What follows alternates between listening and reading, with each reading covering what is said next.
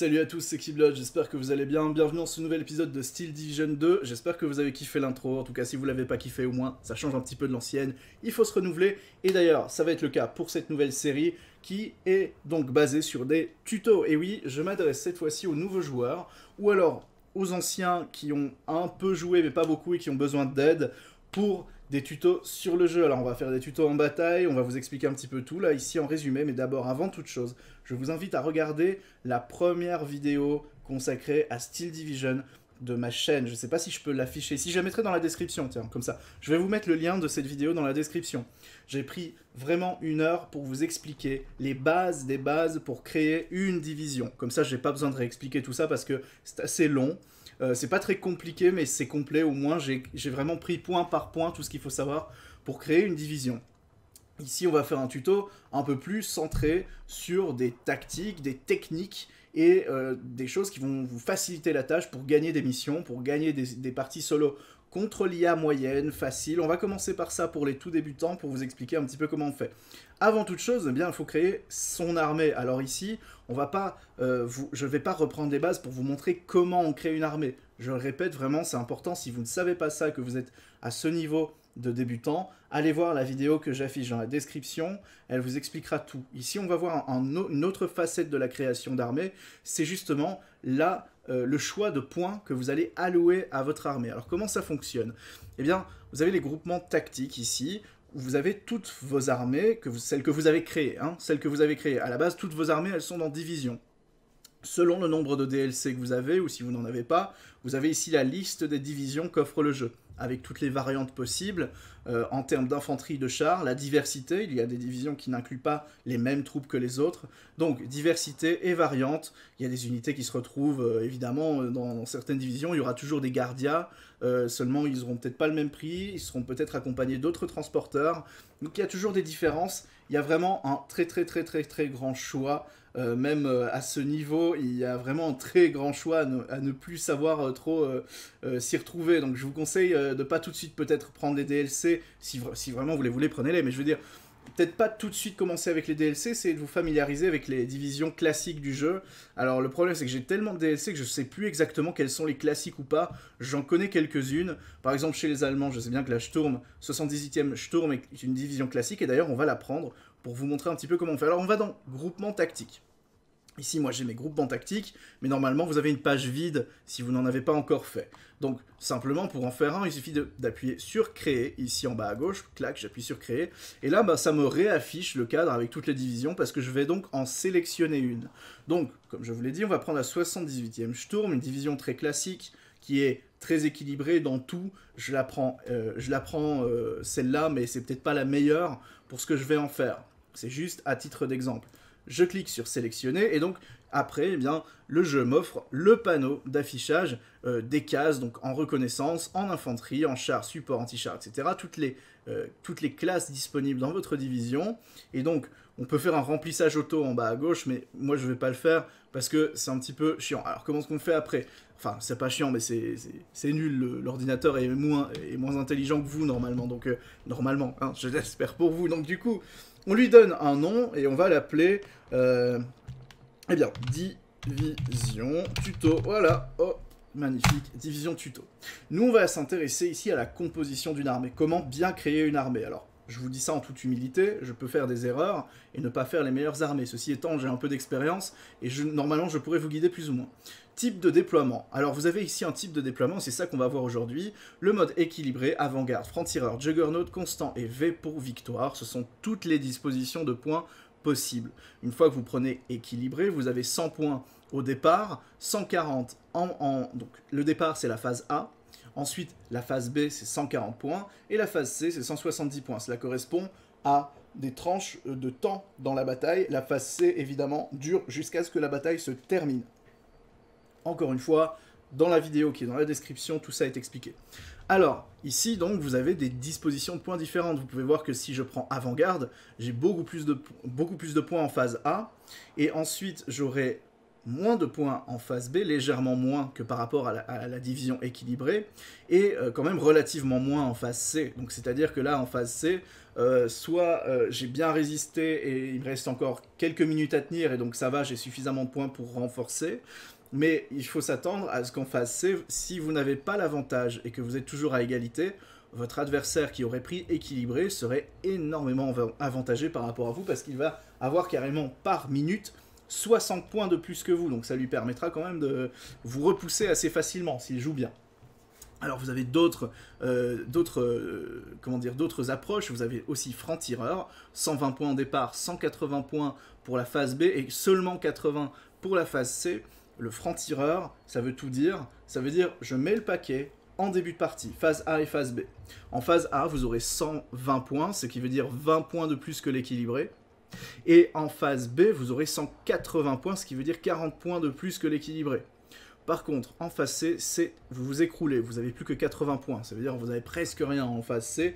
Donc ça veut dire quoi? Eh bien, si vous choisissez franc-tireur, eh bien vous allez devoir mettre des unités en phase A. Alors on va vite faire une division en équilibré. Donc tuto, je vais lui mettre euh, euh, équilibré.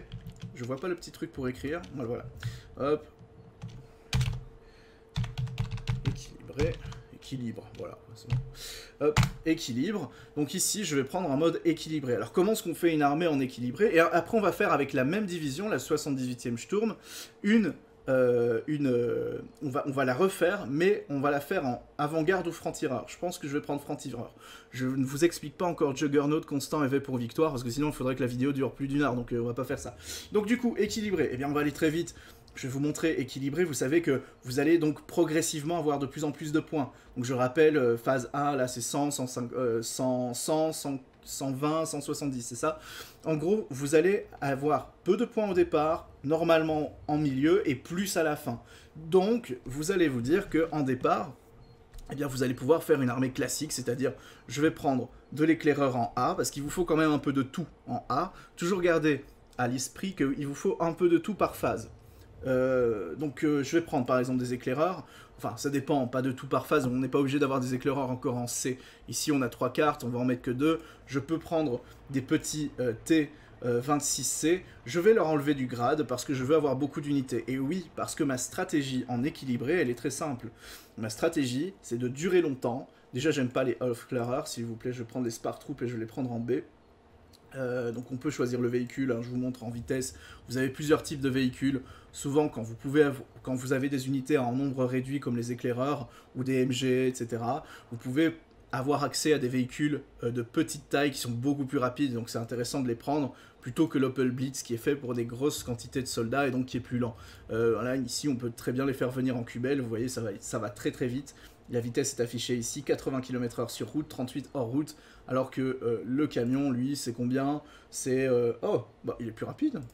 C'est quoi ce, mensonge? Ah oui, d'accord, 90 km/h sur route et vitesse hors route 43. Bah tiens, la cubelle est moins rapide. C'est celle-là, c'est la Horsch, qui est euh, plus intéressante puisque elle, elle va aller à 45 km/h hors route. Donc euh, ouais, on va la faire venir en. Tiens, je savais pas que la petite cubelle était moins rapide, ça, ça m'étonne. Bon, euh, donc j'ajoute une carte. Voilà, ici j'ai euh, donc la, j'ai donc ma reconnaissance. On a 50 points d'activation dessus à droite, donc on, commence toujours par équilibrer, et puis après on fait quelques changements. On va pas tout de suite dépenser tous les points. là, il me reste une case de 3, on verra. S'il nous reste 3 points à la fin et qu'on veut la remplir, on le fera. Donc, ensuite, infanterie. Toujours garder l'idée phase A, phase B, phase C. Donc qu'est-ce que je fais? Je mets dans la phase A de l'infanterie. Donc ici vous avez énormément d'infanterie, c'est à vous de voir comment vous voulez. Moi j'aime bien avoir des unités classiques, c'est-à-dire par exemple des Schutzen, ici qui vont avoir 2 MG42, 9 carabines, mais seulement 2 MP40. Ils en ont quand même 2, hein, la plupart des unités en ont que une. Donc voilà, ce sont des unités de ligne, ça veut dire qu'elles ne se battent pas très bien en corps à corps dans des forêts ou dans des villes, mais qu'elles sont très bonnes pour tirer de loin, c'est-à-dire avec leurs 2 MG, elles vont jusqu'à 750 mètres et 500 mètres pour les fusils. Elles sont également dotées d'une grenade anti-char, c'est intéressant. Donc ici, qu'est-ce qu'on voit avec les Schutzen C'est que si je les mets en phase A, je peux en avoir 9, B et C. Il y a énormément de cartes dans la 78e Sturm. Moi, je vais vous montrer comment je la conçois. Vous, vous pouvez mettre des variantes comme vous voulez. Je vais mettre au moins en A, en B et en C, une carte Shutzen, parce qu'il y en a beaucoup, comme vous voyez, j'en ai encore une quatrième si je veux. Et ces cartes Shutzen, en fait, elles sont intéressantes parce qu'il y a quand même beaucoup d'unités et elles ont de l'anti-char, de l'AMG, etc. Donc en A, en B et en C. Mais je veux également utiliser les puissants Sturmschützen de cette division. Fais voir un peu. Ouais, les camions, c'est classique ici. Il n'y a, pas de, a pas de camions, il n'y a pas de, half-tract, etc. Les Sturmschützen qui ont donc 13 MP44 plus un Panzerfaust, unité très intéressante au corps à corps et à middle distance puisqu'il tire à 300 mètres. Pas aussi loin que les fusils, mais ce qui est intéressant avec cette unité, c'est que elle va vraiment pouvoir faire du corps à corps et pas n'importe lequel. C'est très très puissant. C'est très puissant la MP44. Et donc vu que j'ai trois cartes Schutzen, eh bien j'en mets en A, en B et en C. Il n'y a pas moyen de faire plus équilibré que ça si vous voulez. Du coup, j'ai encore des cartes infanterie à 3 points et à 4 points, ça va commencer à coûter plus cher. On va les remplir après. On va d'abord voir, il y a de la musique dehors, je sais pas si vous l'entendez. Je sais pas. Les, travailleurs à côté, ils tapent leur musique. Ils ont l'impression, toute la journée, tout le temps. Et ils ont l'impression que ça fait chier personne. Je vais, je vais les attaquer. Je vais aller, euh, je vais prendre mes. Non, j'ai rien dit. que, du coup, voilà, on a encore des unités euh, spéciales comme le Beware Hung. Euh, je sais pas si je prononce bien. Des unités un petit peu reprises, donc je pense, de l'armée russe, puisqu'ils utilisent des Mosin, des PVSH et des P28. C'est à vous de voir si vous voulez modifier les choses. Pour l'instant, on ne rajoute pas d'infanterie. Pourquoi? Parce qu'on va d'abord avant de remplir les cases à 3 et à 4, on va d'abord aller voir dans les chars. Les chars, c'est du Stug, donc du coup, on va les prendre. Il nous en faut en A, un minimum, mais il nous en faut un maximum en C, parce qu'on veut durer. Nous, sommes en conception équilibrée. Donc, notre objectif, nous, c'est de tenir jusqu'à la phase C. Et une fois qu'on aura la phase C, c'est d'avoir beaucoup de troupes. Donc, on va essayer de garder beaucoup de chars, et on prend notre euh, troisième carte Stug en B à 4 unités. Alors pour les supports, ici on va utiliser évidemment les rechargeurs. Donc euh, euh, moi je l'utilise jamais en A, je le prends juste en B et ensuite en C. On peut avoir le RSO munitions aussi, qui est un peu plus chargé en ravitaillement, donc 15 000 au lieu de 10 000. Donc ça c'est intéressant. Et, euh, et du coup, le problème, qu'est-ce que c'était que le problème? Il coûte un peu plus cher, je crois qu'il est beaucoup plus lent. Hein. Oui, celui-ci va à 90 km/h, celui-ci va à 30 km/h. Bon, moi je préfère faire venir l'Opel Blitz. Donc, ici, on a de la MG42, mais je vous conseillerais plutôt d'aller vers le IG18 qui sera beaucoup plus efficace pour un prix. Combien c'est la MG42 C'est le même prix. C'est le même prix je trouve que le IG18 est vraiment beaucoup plus efficace. Il a des obus hits, il peut faire des tirs sur les chars. Pas grande pénétration, mais tout de même avec un, dégât de 8, ce qui est pas mal hein, quand même. Euh, donc voilà. Mais je vous conseille de le prendre en A. Pourquoi? Parce que certaines unités en B ou en C auront moins d'intérêt, moins d'efficacité tout simplement parce que elles vont, se, frotter à des unités ennemies beaucoup plus puissantes, beaucoup plus fortes. Donc en A, il est très bien. J'en ai combien? J'en ai une carte. Euh, il peut venir en cubelle. Donc je vais le faire venir avec la cubelle. Et euh, ici, qu'est-ce qu'on prend de plus? On a encore une carte à un point, on pourrait aller vers autre chose. Je ne vais pas vous apprendre à utiliser généraux, je les utilise très rarement. On a le IG33, pourquoi pas, on pourrait le mettre même en B. Euh, alors on peut aussi utiliser les euh, Flammenwerfer et on peut les faire venir avec des petites, regardez, euh, BMW R75, donc les petits sidecars qui eux filent à 95 km/h, c'est pour vous la possibilité d'aller choper des points dès le départ de la partie. Donc pourquoi pas en prendre en A, de toute façon on peut les avoir qu'en A, on va en prendre 9, voilà, ok c'est fait. Anti-char, maintenant pour l'anti-char, on va utiliser comme d'habitude des troupes, mais cette fois-ci, on garde bien en mémoire qu'on va devoir rester longtemps sur la bataille. Alors, on a du pack 40, je vais le faire venir en A, puis en B et puis en C. Comme ça, j'en ai sur chaque phase. Et je vais me garder également un petit mardeur qui peut venir en C à 12 ou à 8 en B. Je vais évidemment le mettre en C et surtout pas avec des grades. Pourquoi? Parce que les grades, en réalité, c'est très intéressant, mais pas pour de la longue durée, pour de l'intensité rapide. Ici, on est sur de la longue durée. On veut plus de chars, on veut ravitailler.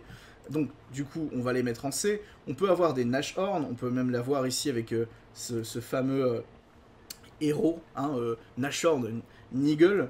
Donc, on va les mettre en C, pourquoi pas. Oui, je vais prendre en C 6 Nashorn. Mais on peut en avoir aussi en B, pourquoi pas. On va pas se priver d'avoir des Nashorn en B, donc on les prend aussi.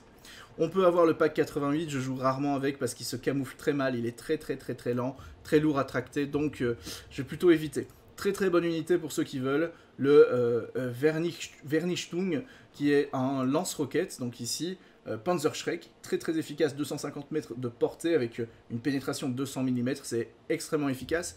Et il est accompagné de 6 Gewehr 43, donc c'est pas mal du tout d'avoir de l'infanterie en plus qui peut, qui peut répondre au combat, c'est une, très bonne, une très bonne unité. On continue avec l'anti-air, on équilibre, toujours, on est sur une façon équilibrée de jouer, donc on équilibre. On a du 37, euh, on va garder la 37 pour la phase B. Ah oui, on peut en avoir beaucoup. Hein. Euh, vous savez quoi, on va les prendre en phase A et en phase B, et ensuite on va prendre un flag Virling en phase C. Ça fait 4 cartes flag Virling, on peut avoir du 88 évidemment. Pour l'instant, on va voir, on attend comme je dis, on finit vite. Artillerie, bon, vous, avez vraiment une artillerie intéressante ici. Hein. Vous avez pour faire du tir euh, de batterie, soit on surprend euh, l'ennemi et on commence en A avec, avec cette petite, ce petit appel hors carte de tir de 210 mm au but, ou alors on les fait venir en B. Moi j'aime bien jouer avec ça plutôt vers B, donc je vais les prendre en B. Mais on a les Naval Warfare que je prends directement en A avec le véhicule le plus rapide possible. Euh, le ZDK, ok. Donc en a et en B également, et en C les gars. Je vais prendre beaucoup de Naval Warfare, je joue énormément Naval Warfare avec ce genre de division. On peut faire venir les 120, et les 120 je les mets en A, au cas où je déciderais plutôt de prendre des mortiers de 120 que un Naval Warfare en A. Donc j'ai ma roue de secours si vous voulez. Pour ici tout ce qui est aérien, eh bien évidemment, on ne peut pas tout avoir non plus. La division est un peu moins nourrie, moins diversifiée en véhicules, en aériens, hein, en avion. vous aimez bien quand je dis ça. Alors du coup, euh, le JU-188 va être la pièce maîtresse, le gros bombardier. Euh, il a une résilience moyenne malheureusement, donc c'est pas super solide. Mais il nous le faut en C pour essayer d'optimiser le nombre de bombardiers qu'on a. Donc voilà, on prend en C. Et par contre, on peut utiliser également le JU-188 qui a euh, des petites bombes de 50 kg. Ce sont des petites bombes, mais il en a 28. Donc c'est pas mal du tout. Et là, on va plutôt le faire venir soit en B, on en a 3, en A, on en a qu'un. En C, on peut carrément en avoir 6. Mais comme je dis, la résilience étant moyenne, moi je préfère avoir la possibilité de déployer un avion en B. Donc je vais quand même les prendre en B. Avec ceci, on a la possibilité de déployer des chasseurs, alors malheureusement euh, des, euh, des, recos. Euh, faut voir, si, ça vous arrange d'avoir des recos, prenez-les. Maintenant, bon, je joue pas fort avec. J'aime bien jouer avec quand elles ont une un double effet, un peu comme le Messerschmitt 109 G8 qui lui a cet effet de reco et de chasseur. Par contre, il ne tire qu'avec deux mitrailleuses de 13 mm, c'est un peu léger mais euh, au moins il peut faire de la reco et il peut être chasseur en même temps. Le problème c'est qu'il faut le prendre en A et avec son grade je ne peux en avoir qu'un et une carte avion de un avion pour euh, cette division c'est quand même cher payé donc je vais plutôt changer ça et prendre des chasseurs tout simplement. Alors ici on voit euh, les deux ici ont une résilience mauvaise. Moi je joue chasseur mais chasseur rapide toujours pour les replier très très vite et surtout pour attraper l'avion ennemi parce que si vous allez trop loin dans les terres ennemies un chasseur, c'est tellement euh, peu résistant dans ce jeu que vous vous le faites tuer très vite. Donc l'objectif pour moi, c'est d'aller très vite sur ma cible. 590 km/h, ça me va bien. Je vais réduire le nombre de cartes et je vais le faire sortir en B, pas en C, parce qu'en A, il coûte un peu cher. 110 points pour la phase A, c'est cher. En B, ça va. Mais en C, euh, je crois que on, perd trop de temps à attendre nos chasseurs. Et surtout, ils vont être, euh, comment dire, ils vont être dépassés par la DCA. Alors qu'en B, c'est possible. Je vais les prendre en B. Voilà, comme ça, j'ai euh, chasseur bombardier en B. Et en C également un peu plus. Alors, il nous reste 4 points à distribuer. On peut avoir une case artillerie. On peut avoir un avion plus un point. On peut avoir encore de la DCA, si on le souhaite. Euh, on peut avoir de l'anti-char, on peut avoir donc deux et deux, on peut avoir une DCA et un anti-char. On peut avoir aussi du support, si on souhaite avoir du support. Du char, on a toutes les cases. Et évidemment, de l'infanterie. Eh je pense que nous allons prendre de l'infanterie. Nous voulons rester longtemps sur la carte et nous voulons avoir la, euh, la possibilité de déployer beaucoup de troupes en C. Et donc, il est important d'avoir en C un maximum de Schutzen. Donc regardez, 15 en C, je peux en avoir encore 27. Donc 27 plus 27, ça fait 54. 54 unités de Schutzen en C. L'ennemi va avoir du mal à tous nous les buter tout de suite. Donc là, je fais ça. Ceci étant, je regarde un petit peu dans la diversité des unités. On a aussi des euh, grenadiers. Je les aime un peu moins parce qu'ils tirent à la MG42 et donc leurs euh, MP44 sont pas toujours... euh, J'aime bien une unité qui, qui ne tire qu'au bon moment. Et les Sturmschützen, il n'y a, a pas besoin de faire de la micro-gestion. Euh, ils ne tireront que à 300 mètres et, les 13 MP44 en même temps. Donc je préfère ça. Mais on a euh, Bewarings là, donc une unité un peu spéciale avec 15 soldats, c'est assez nombreux. Est-ce que je... Est-ce que je prends ça? Ah, Ça ne peut venir que en B maximum, à raison de 12 unités. Est-ce que je fais venir Je pourrais faire venir ça à la place des Schutzen en B? Je perds quelques troupes, mais ma foi, je regarde. En réalité, je trouve les Schutzen plus intéressants parce qu'ils ont quand même 2 MG, alors que l'autre unité a que une DP28. En réalité, les euh, ne gagnent euh, en, intérêt, que par le tir de Mosin Nagant. Euh, je vais pas les prendre. On peut avoir des Sturm pionniers aussi si on veut jouer lance-flamme. Mais est-ce qu'on n'avait pas pris les lance-flammes? Si, on a déjà pris les Flammenwerfer. Flammenwerfen, c'est ça? Flammenwerfer. Ok, donc du coup, il nous reste un point. Qu'est-ce qu'on peut avoir pour un point? Est-ce qu'on a quelque chose qui nous permet d'être placé à un point? Non, donc euh, c'est-à-dire qu'il faut faire un autre choix ou alors laisser la division ainsi. Euh, on peut aussi enlever... Qu'est-ce que je pourrais faire? En anti-char, est-ce que je fais autre chose en anti-char? Les packs 75, est-ce que je les prends en anti-char? Reconnaissance, ça j'aime bien les avoir en A. Ces petits, ces petits chars-là coûtent pas cher et on peut les déployer vite sur le terrain. Spar Troop, je garde. En B et en C, je garde. Vous savez quoi? Regardez, je vais retirer un de mes transports. Je gagne donc un point, donc j'ai deux points. Et je vais pouvoir mettre de l'anti-char. Mais je vais faire une vite fait une petite manip. Je vais enlever tous mes Nebelwerfer. Et je vais les faire venir, regardez, avec des véhicules de ravitaillement. Un en A. Donc comme ça, ça m'économise le fait d'avoir des ravitailleurs à ajouter en carte. Je les ai qui viennent avec mes, avec, euh, avec mes pardon. En C, je peux plus en avoir. B et C. Mais c'est pas grave, j'en ai déjà pas mal. De toute façon, en C, j'aurai mes supports ici, Opel Blitz, qui viendront. Donc, j'ai deux points. Et maintenant, qu'est-ce que je prends pour deux points? De l'infanterie, je peux pas. Je ne peux prendre, je crois, que de l'antichar ou de la DCA. Alors voilà, on fait un, dernier choix. Soit j'augmente encore mon antichar, je peux prendre du Nashorn, euh, je peux prendre du Panzerwirch machin, ou alors anti-air. On en a quand même pas mal, mais on pourrait prendre par exemple les gros 88 en C. Euh, ça peut être intéressant, ça peut vraiment empêcher tout ennemi de passer. Est-ce que je prends ça? Ou est-ce que euh, plutôt je prends du Nashorn Vous savez quoi? On va prendre les gros 88 euh, en C. Voilà, on les fait venir avec le camion le plus rapide. 55 km/h, c'est celui-là. Je prends celui-là, hop, c'est parti. En C, 4, 88. On fait retour et sauvegarder. Alors, vous inquiétez pas, défense, c'est pour un autre mode de bataille. On n'a pas besoin d'en parler pour l'instant. Voici notre division qui est terminée en équilibré. Maintenant, on va vite s'attaquer à la seconde partie de cette vidéo qui va vous montrer maintenant comment on fait la même division mais pour la jouer en franc-tireur. Je vais prendre franc-tireur parce que c'est ce qui est le plus opposé à équilibré puisque c'est tous les points en début et non à la fin. Et bien là, on va reprendre cette même division, déjà sauvegarde. Donc tuto équilibré, voilà. On va créer, donc je vous l'ai montré tout à l'heure, je scroll et je vais ensuite sur la tourne, sélectionner, et ensuite je vais maintenant choisir un autre mode de placement de points, franc-tireur, 120, 180, 80. Et là, par contre, vous savez que vous devez gagner, à, la fin de la phase B, il faut avoir gagné. Donc, ici, on va revoir les choses complètement différemment. On va directement placer des troupes comme le euh, Panzer T26, mais on va pas le prendre avec un grade 0. Cette fois-ci, on va le prendre avec un grade 1. Pourquoi? Parce qu'on n'est pas là sur la durée, on est là sur la qualité et la frappe. On va attaquer. Donc, en A, on prend ceci. Ensuite, on va prendre, par exemple, des Spar Troupes, on peut les prendre en B, mais on va augmenter leur nombre. On sait qu'on n'est pas là pour longtemps. On sait qu'on n'est pas là pour longtemps. On est là pour emporter la victoire. Et puis après, c'est bon. On gagne et puis on se barre. Donc en gros, on n'a pas besoin de trop de troupes. On a besoin de troupes avec le plus haut grade possible. Le prix de l'unité reste le même. Si vous diminuez le grade, votre carte vaut plus d'unités. Si vous augmentez son grade, elle en vaut moins. Donc en gros, c'est bonus-malus, mais c'est le même prix. Et lorsque vous vous attaquez en vitesse et que vous voulez gagner dès le départ, ben c'est c'est justement, c'est très intéressant de les mettre avec des grades. Donc je les mets hop, en B avec grade 2. Infanterie, alors cette fois-ci, on va frapper au Sturmschützen. On en prend en A. On va un peu diminuer le grade pour pas que ce soit non plus euh, absolument euh, la cata. Euh, il nous faut quand même des troupes. Regardez, on va monter le grade à 2. Et qu'est-ce qu'on va faire en B?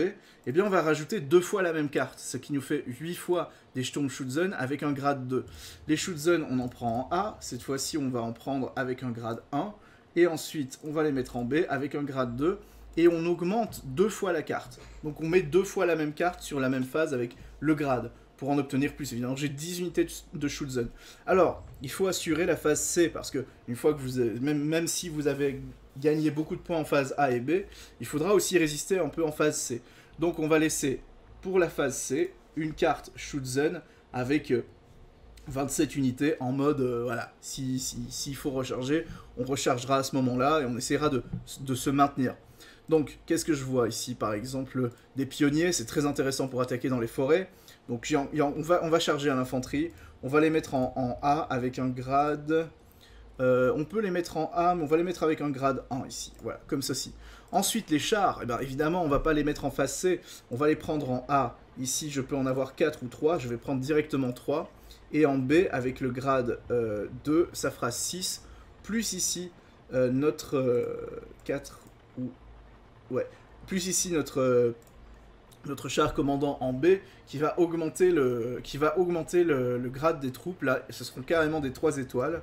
Ou alors on peut en avoir un peu plus. Non, c'est bon, bon, on va le prendre comme ça. Donc voilà, char, ici on n'en aura pas en C.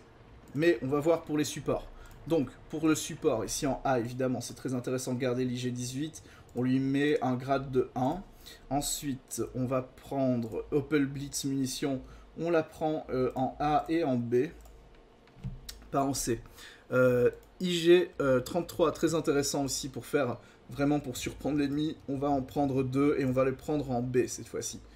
Alors, avec un camion rapide. Hop, comme celui-là. Tac. Ouais. Donc ça c'est bon, on a fait anti-char. Ah oui, j'ai oublié de renommer. Donc on va mettre tuto, division tuto, c'était ça je sais plus ce que j'avais écrit avant.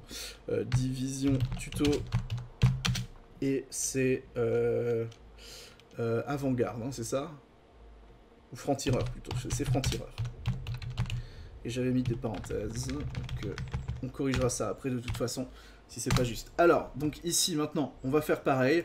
je vais utiliser des bazookas, ce qui coûte pas cher. Faut aussi savoir ça. Vous aurez moins de points, enfin vous aurez plus de points par rapport à vos, vos adversaires, mais vous aurez quand même pas énormément de points. C'est la phase A et la phase B.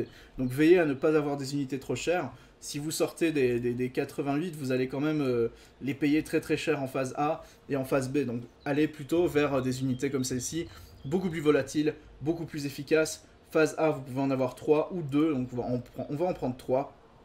Phase A. Ensuite, euh, Marder, lui je le veux bien pour la phase B et j'en veux 4. Nashorn, phase B, phase A, je peux en avoir combien? Je peux en avoir un en phase A. Et en phase B, je peux en avoir deux avec une étoile.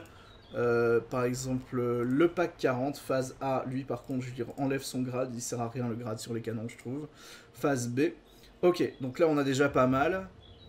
Et on pourrait euh, voir même en phase C, 8 canons. Parce qu'il faut toujours assurer un truc pour la phase C. Hein. C'est pas parce que vous avez euh, fini, vous avez beaucoup d'unités très très intéressantes en phase B, il faut encore avoir en phase C suffisamment pour combattre mais normalement vous devriez vous sortir de la phase B avec une grosse avance sur votre adversaire, et en phase C il suffit juste de se défendre quoi.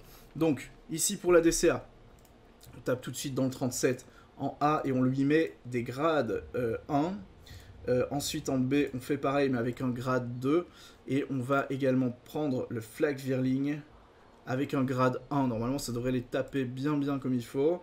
Euh, on enlève le grade pour le flag 88 et on va le prendre en C. Comme ça, il y aura encore un truc en C. Donc A, B, B. Ouais, c'est vrai que 2, 4. C'est vrai que c'est un peu, un peu peu. On va voir, on va voir, on va voir. On va peut-être retirer plutôt celui. Comment est-ce que je peux faire ici? Vous savez quoi Je vais prendre plutôt en B. Le flag Virling, en fait, il suffit à lui-même. Hein. Il n'y a pas besoin de grade.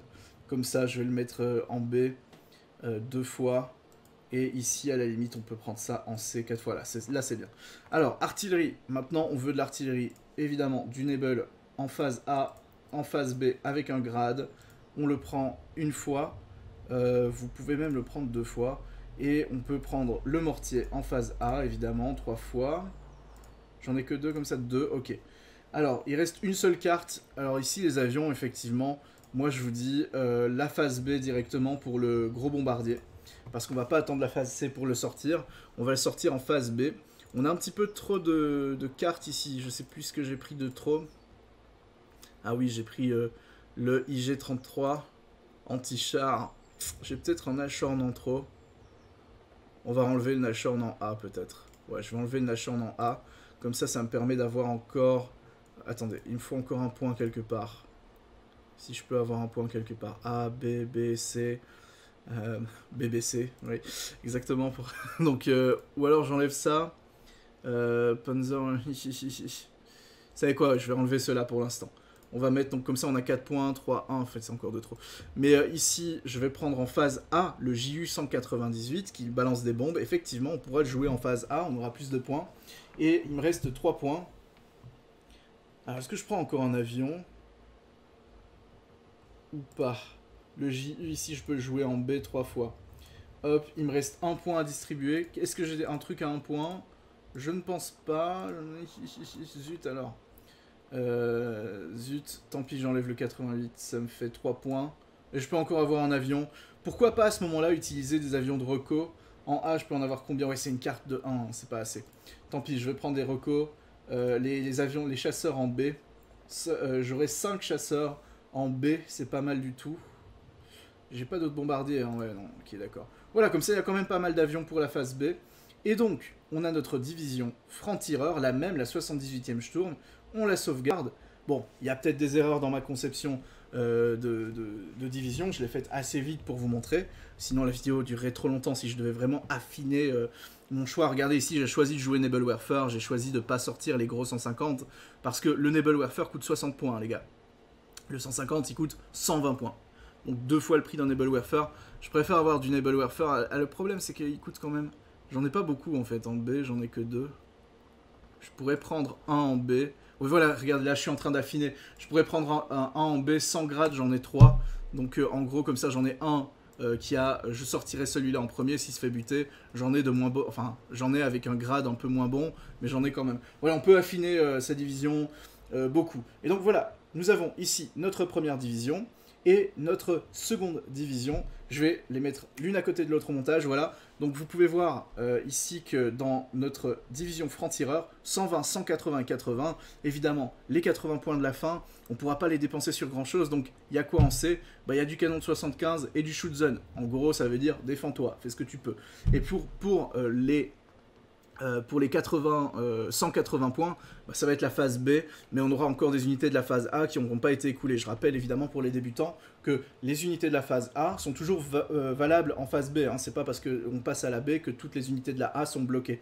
En gros, c'est progressif, ça veut dire phase A, on n'a que la A, et phase B, les unités de B se rajoutent. Phase C, les unités de C se rajoutent à ce que vous avez déjà. Est-ce que vous n'avez pas encore dépensé Vous l'avez toujours. Quoi. Si, si, je sors trois pionniers en phase A et qu'on passe à la phase B, bah, il me reste un pionnier, ils sont toujours là. Quoi. Ils sont toujours dans ma réserve. Donc voilà, en gros, comment on fait une division franc-tireur. Et la prochaine vidéo, ben, je, vous, je, vous, propose de tester ces deux divisions-là et, de et de vous montrer comment elles se jouent. On va les jouer contre une IA. Je vais aussi vous montrer au passage comment on bute une IA, puisqu'il y a beaucoup de joueurs qui le disent. Euh, moi, je joue contre l'IA facile, je joue contre l'IA moyenne et j'ai du mal à gagner. Nous, ça nous fait un peu rire parce que c'est facile de battre une IA, mais je, comprends et en fait, quand je si, j'y réfléchis bien, moi aussi au début, bah ouais, c'est vrai, moi aussi au début j'avais un peu de mal. Euh, je crois que j'ai gagné ma première partie, mais j'étais un peu perdu sur la carte. C'est vrai qu'il y avait des unités qui avaient rien à foutre là, qui y étaient. Enfin bref, voilà. En tout cas, j'espère que cette vidéo vous a plu, vous a permis de dégrossir un petit peu les euh, différents modes de points qu'on peut allouer à la même division, c'est-à-dire qu'une même division peut être, euh, peut être en double. Regardez, 70e euh, Sturm équilibré. Attendez, c'est pas ici, c'est division tuto, voilà. Division tuto équilibré franc-tireur, on a bien écrit. Donc, deux fois la Sturm, et ici 110, 100, 140, 170, et ici 120, 180, 80. Donc, de différence, et puis euh, on va les tester et vous montrer comment on les joue. J'espère que cette vidéo t'a plu, n'hésite pas à aller faire un petit tour sur ma page Utip pour mater une pub ou faire un don si tu considères que mon contenu en vaut la peine. Il y a le lien de mon Discord dans la description, et bah moi je te dis à la prochaine et porte-toi bien.